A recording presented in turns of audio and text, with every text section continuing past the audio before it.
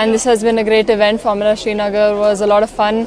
I got to drive here next to Dal Lake at a pretty young age. Um, it was amazing. We had so many people come and watch and support and it's just been amazing. Uh, huge thanks to RPPL and JNK Tourism for organizing this event and letting me be a part of it. I'm very grateful to have driven here. I am from Himachal Pradesh. It's my first time in Kashmir. I'm very happy that I got to drive here on the road in my first visit to Kashmir. For young female drivers or male drivers, I'd say that keep working hard and um, for families to support their children to work towards their goals. ये हमने एक Indian car racing festival यहाँ पर organise किया है जे K tourism ने.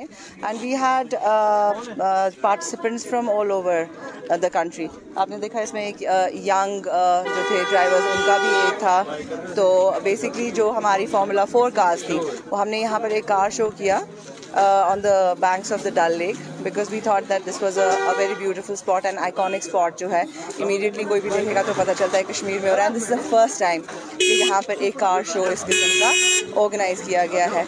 So this is a series of adventure sports जो हमारे हैं। Events that are going to be held over the year so we are hoping for a good season ahead देखिए होता क्या है कि कहीं पर भी when you bring attention to a place car racing जो यहाँ पर फॉर्मूला फोर कार रेसिंग भी this has happen for the first time and it has happen in the backdrop of the beautiful Zabarwan mountains so ये visuals जो हैं they go all across the world and this is what brings attention to a region and this is the spring advent of spring and we are going to have blossoms and we going to have the tulip garden open soon so this is to bring focus that Kashmir is open Kashmir welcomes everyone and we going to have more and more such activities in the future also